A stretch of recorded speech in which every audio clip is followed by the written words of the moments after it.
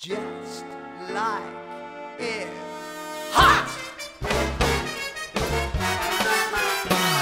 Our deepest desires to sing in a choir, but we're on the spot. Wir sind momentan sehr gut im Zeitplan, trotz dem Regen und dem Wetter, das uns ab und zu einen Strich durch die Rechnung macht. Aber ich kann da nur ein grosses Kompliment auch an die Mannschaft hinter mir weitergeben, die jetzt auch in diesem Wetter wieder am Arbeiten ist. Und dementsprechend sollten wir eigentlich den Zeitplan tiptop einhalten. Some like it hot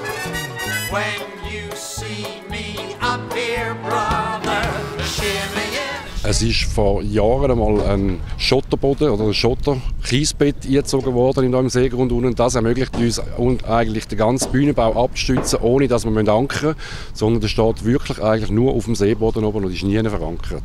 Es steht auf Holzplatten, auf Dreischichtplatten, die mit Füßen von Gerüsten verschraubt werden und dann mit dem Gewicht natürlich auf den Boden abgedrückt werden. Some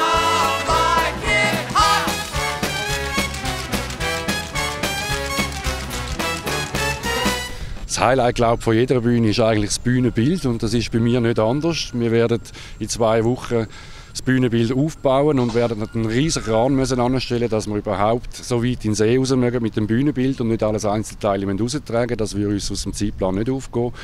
Wir werden dann an dem Tag insgesamt fünf Fahrten machen mit dem Kran. Das ist für mich das absolute Highlight. Ich glaube auch für alle Jungs da auf dem Platz. Das ist wirklich, sind fast über fünf Tonnen, wo wir auf 70 Meter Radius müssen auf das Bühnenbild punktgenau platzieren. Das heißt, wir müssen Millimeter Arbeit machen, was der Kranführer natürlich auch sehr gefordert ist.